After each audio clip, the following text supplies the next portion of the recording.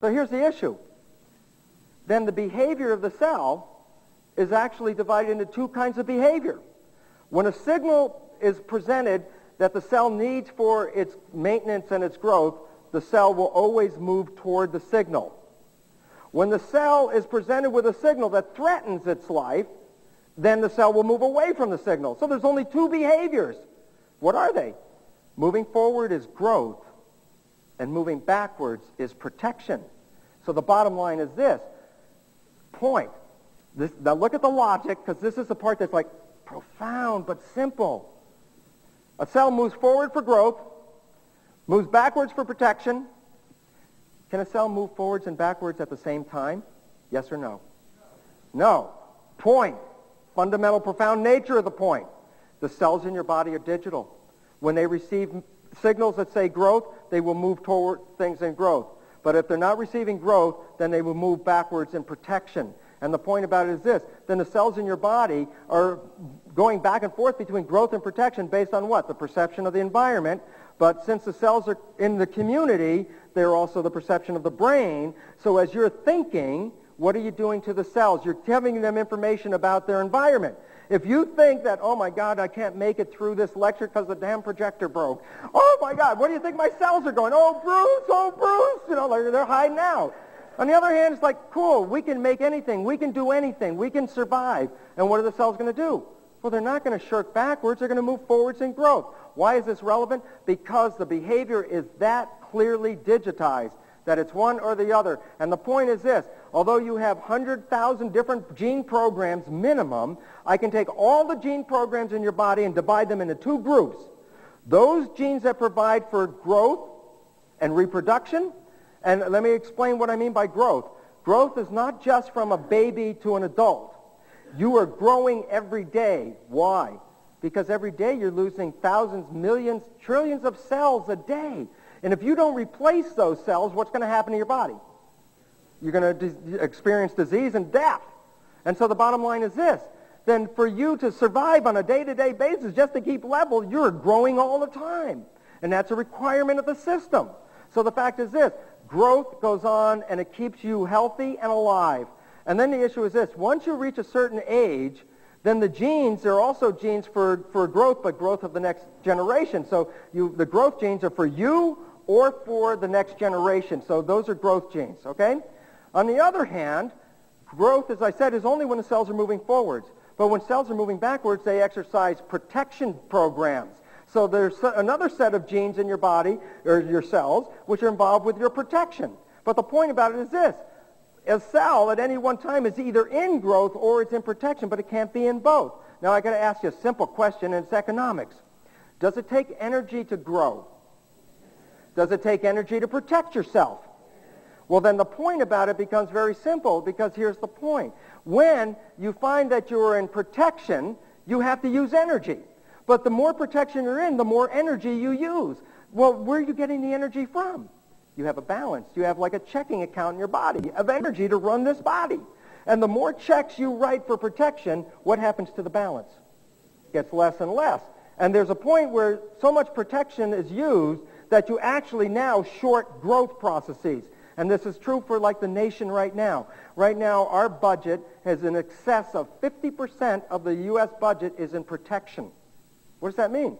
Well, all that money that's allocated for protection is not helping us grow or maintain the country in any way because that's all put in the armaments and whatever they are. And the issue is this applies to your own body. When you walk out on the street, when you wake up in the morning, you start to live, you're vacillating between growth and protection. And the issue about it is the more protection you require or you perceive you require, and that's, that's the trick, the one that says you think you need protection, the more you put into that, the less growth you start to accommodate. And here's an interesting part. You could be so afraid, you can be scared to death. And that's the truth. The truth is this, that fear can be so great that you absolutely shut off growth so quickly that you actually die right at that moment. And the reality is understand the balance of your health is related to the amount of energy expenditure you're putting into protection. So the bottom line, survival is actually equal to growth divided by protection. And now look at this. Turn on the news. Read the newspaper. Listen to the, to the TV. What do you hear every day? More reasons to protect yourself. Well, the air's not good. The water's not good. The food's not good. These people are unsafe. These, every time you turn around, what are you doing? You're walling yourself off more and more. Why? Because growth means to go forwards. What is protection? Go backwards or wall off the outside. We start to isolate when we start to become fear-bound.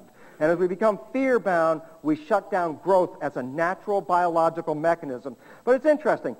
I have 50 trillion cells. Each cell can be in growth or protection. But my whole body doesn't have to be in growth and protection, so I can have a range. My body can be in, so many cells are in growth, so many in protection, so I can have a percent. So when I look at the human uh, system, I also recognize that growth and protection is a variable, okay?